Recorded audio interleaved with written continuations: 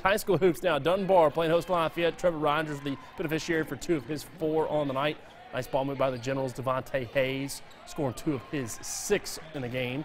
Evan Drew had a game high 14 points, including the three from the corner right there at ST Roach. Fu Diallo nets it from range up top, eight and all for him. Jaquise Gray had 10 for the Dogs. Michael Allen, a team high 12, 54 49. Your final Lafayette wins it over PLD. To Tates Creek and GRC Quentin Jackson netting three of his seven, but here come the cards. Ryan Cooper, a game high 16, including two here on the run out in transition.